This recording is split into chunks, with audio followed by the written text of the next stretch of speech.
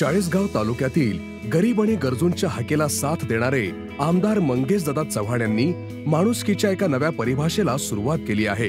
जिथे पैसा हा उपचारांसाठी मुख्य अडथळा ठरतो तिथे दादांनी माणुसकीचा हात पुढे केला. मुंबई नाशिक सारख्या मोठ्या शहरांमधील नामांकित रुग्णालयांमध्ये कित्येक गरजूंना मोफत उपचार मिळाले. कॅन्सर सारख्या गंभीर आजारांसाठी जिथे सामान्य माणसाला आशा कमी वाटते तिथे दादांनी आशेचा नवा किरण दिला.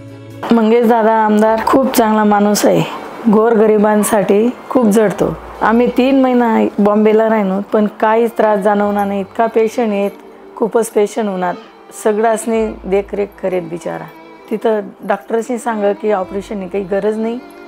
रेडिएशन केमोमुळे चांगलं होईल जाशात तुम्ही.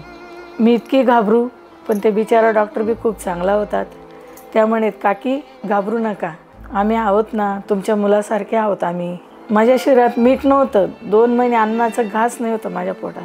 त्या कॅप्सूलच्या गोळ्या काढून मीठ भरून द्यायचे मला. जितूदादाने गोळ्या स्वतः भरल्या. मला द्यायचा दादा. बिचारा जितूदादा खूप कष्ट घेत होता माझ्यासाठी. जेवण पण आणून द्यायचं बळजबरी जेवायचा. आणि टाटामध्ये तर एवढं चांगलं आहे मंगेश दादांनी खूप सोयीस्कर केलेलं आहे सगळं. सगळ्या पेशंटांना आधार भेटतो तिथं. सगळे चांगले होऊन जातात. बिचारा चाळीसगाव तालुक्यात आमदार म्हणून या वेळेस पण यायला पाहिजे खूप चांगला आहे दादा.